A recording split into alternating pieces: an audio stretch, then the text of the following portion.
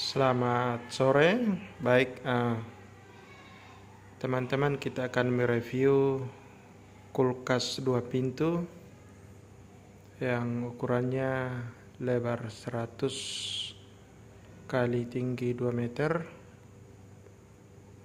Ini kulkas ini harganya sangat murah yaitu sekitar 8 juta daripada teman-teman membeli kulkas satu pintu maka lebih baik membeli kulkas dengan model ini dua pintu. Kita akan melihat bagian-bagian di dalam.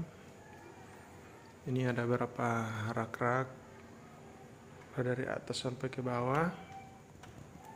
Kita juga akan melihat penyimpanan di dalam.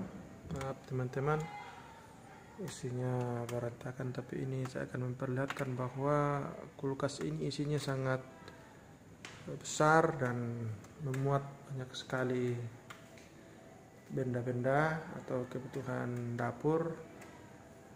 Bagian atas daripada kulkas ini untuk menyimpan makanan-makanan yang sudah masak. Dan kulkas ini ketika kita menyimpan sayur satu minggu itu masih tetap segar Oke, kita akan lihat pintu bagian bawah ini adalah khusus untuk freezer. Ini ada dua tempat. Ini untuk es batu. Ini tempat menyimpan ikan atau daging sangat luas dia punya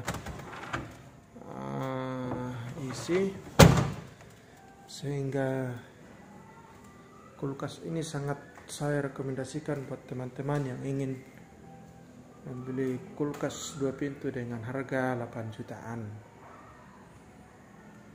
Demikian teman-teman.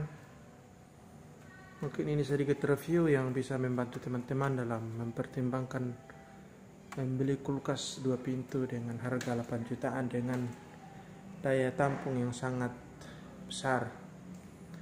Perlu juga teman-teman ketahui bahwa kulkas ini sangat irit yaitu hanya 120 watt. Karena dia sudah mempergunakan teknologi hybrid. Sehingga kebutuhan listrik sangat murah. Demikian review singkat dari saya agar teman-teman jika mau membutuhkan kulkas dengan kualitas daya tampung yang besar, bisa membeli tipe kulkas ini yang harganya hanya sekitar 8 jutaan. Demikian, terima kasih.